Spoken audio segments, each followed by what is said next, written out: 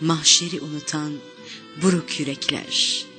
Duygu boşluğunda allanır emir. Şekile şemaya kanan erkekler, modayla makyajla pullanır emir. Örümcekler sarar kafatasını, tevhid ile silmez gönül pasını.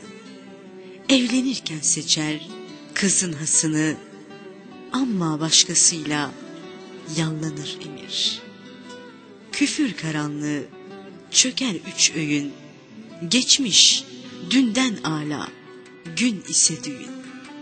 Kur'an camilerde sanki kör düğüm, sünnet idam olmuş sallanır emir.